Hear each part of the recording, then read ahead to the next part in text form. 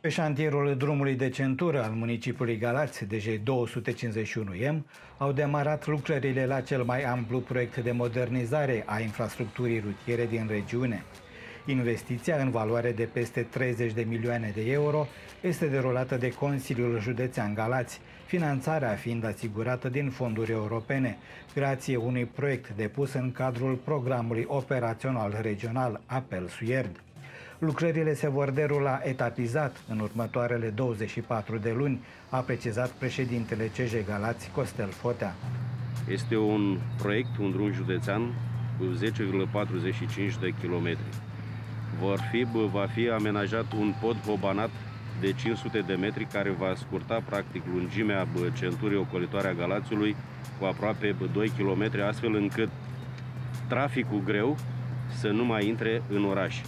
Centura, sau mai bine zis lucrarea, va fi împărțită în patru tronsoane. Un tronson de la Brăilei până la viaduct, un tronson de la viaduct până la Coșbuc, un tronson de la Coșbuc până la în bariera Traian și un tronson de la, din bariera Traian pe Macului până la ieșirea în uh, Basarabiei.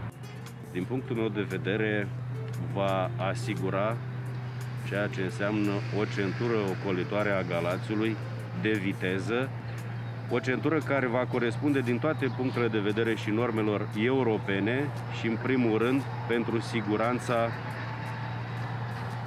celor din trafic. Un avantaj major al acestui proiect este și acela că o bună parte din aceste investiții vor avea în final drept efect stimularea economiei gălățene. O infuzie majoră de capital uh, în economia locală, sunt peste 30 de milioane de, de euro din bani europeni și dacă punem la socoteală și partea de coparticipare din partea Consiliului Local, mai vorbim de încă aproximativ 4 milioane de, de euro ce urmează a fi uh, investite în uh, partea neeligibilă a proiectului, care a rămas în sarcina uh, bugetului primăriei municipiului Galați. În prima etapă a lucrărilor, constructorii se vor concentra pe cea mai complicată parte a proiectului, respectiv realizarea podului Hobanat. Arhitectura acestui viaduct va fi deosebită. Este un pod hobanat cu două deschideri câte 120 de metri, plus una suplimentară de 35 de metri. Uh, pilonul central al podului Hobanat, care va